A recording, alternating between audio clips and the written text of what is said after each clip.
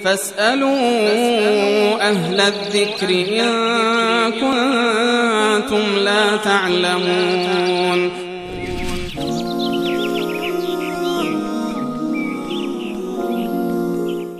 بیننده بعدی گفتن که دوباره راه بلد بودن و اینکه شخصی راه بلد هست و در مقابل این کار یعنی مسافر رو به جای دیگه انتقال میده و راهنمایی می‌کنه پول می‌گیرد آیا این پول حلال است یا حرام؟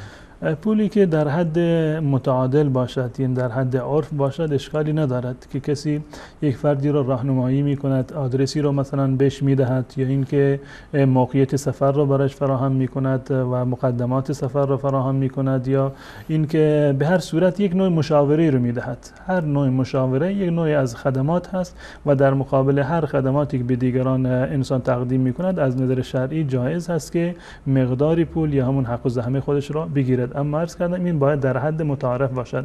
معمولا کسانی که دچار این یعنی این شغل رو دارن بی انصافی می‌کنند و کرایه چندین برابر می‌گیرند یا در مقابل افرادی رو که می‌برند یا اینکه به مقصد نمیرسانند اما پول خودشون رو کامل می‌گیرند. اینا تمام خیانت در این زمینه هست.